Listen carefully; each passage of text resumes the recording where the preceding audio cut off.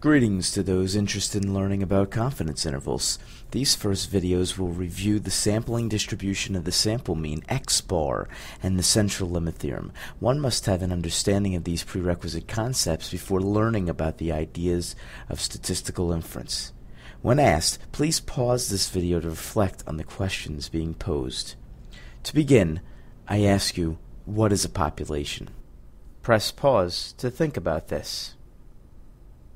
In statistics, a population can be defined as a group or set including all people or items of interest possessing a certain characteristic we wish to learn about. Let's see that in words.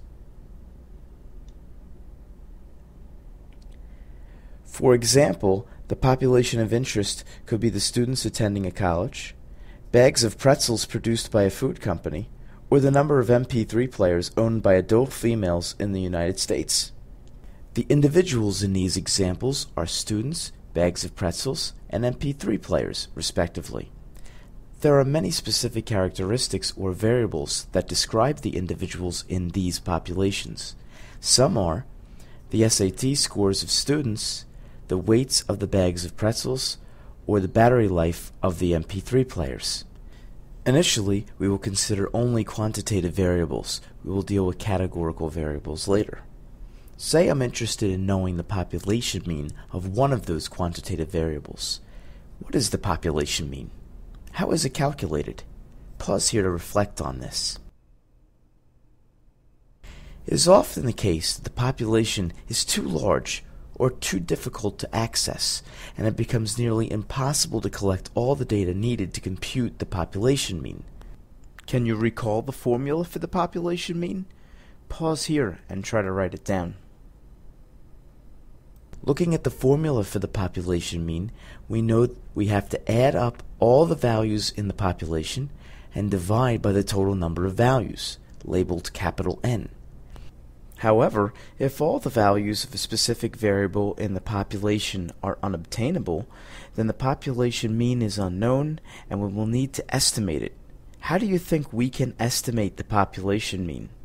Pause here to reflect on this. Let's assume this bubble is my population of the weights of the bags of pretzels. And let us assume that this population has a normal distribution. I'll change this assumption later. This bubble only allows us to see some of the values in the population. Please note that there are many, many more weights that are not displayed in this bubble. The image below the bubble is the shape of the population distribution of weights, and this normal curve represents all the possible weights in our population. Imagine all the bags of pretzels produced at all the different factories of one company across the country. At any moment, some bags are still at the factory, some are at grocery stores, and others are in people's homes, making it nearly impossible to obtain a population mean. When you thought about estimating the population mean earlier, did you remember that a way to estimate the unknown population mean is to take a sample from that population and calculate a sample mean from the number of items in that sample? Here are the formulas for the population mean and the sample mean. Remember, the capital N represents the population size, and the lowercase n represents the sample size. Let's go back to the bubble that represents our population of weights. Keep in mind that the weights listed below the bags of pretzels displayed in the bubble are hypothetical, and their purpose is purely instructional we are still assuming the values in the entire population are unobtainable, which is the reason we cannot see all the possible weights in this bubble. Let's take a sample of three bags of pretzels from the bubble, record the weight of each bag, and calculate the sample mean x bar of the weights. It is known that the sample mean is a good estimate of the population mean. Pause here to think about why x bar is a good estimate of mu. I promise to answer that question in the next video. What is not known from that one sample is how close it is to the true unknown population mean. One way to get a better understanding of this is to consider the sample mean coming from a distribution of sample means built by repeated sampling. Do you remember what a sampling distribution is? Pause here to reflect on this idea.